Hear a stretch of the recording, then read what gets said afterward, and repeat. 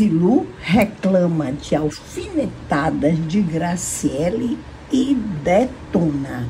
Olha, eu vou contar aqui para vocês o que está no extra.globo.com, mas se você ainda não está inscrito no canal, você se inscreve, dá aquele like, deixa o seu comentário.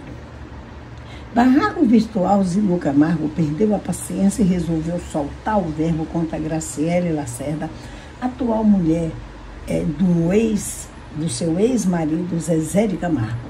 A mãe de Vanessa publicou dois posts nas redes sociais na, é, e ainda fez um vídeo pedindo respeito e afirmando que não vai mais se calar diante das provocações da rival.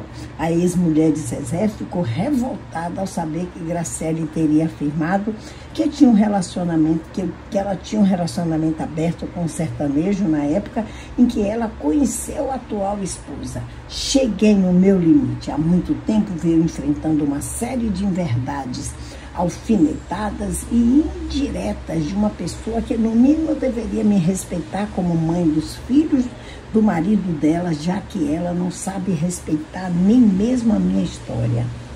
Falou Zilu.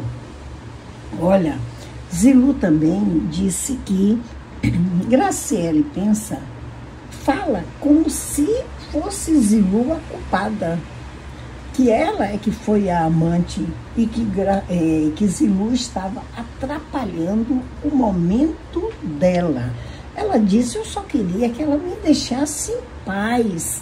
Ela lutou para destruir uma família e está no pódio. Quem devia estar incomodada foi eu. Eu que fui atraída, eu que separei, eu que tive que buscar outros caminhos, deixar de lado tudo eu vivia. Eu quero paz, me esquece, deixa de me atacar, pelo amor de Deus.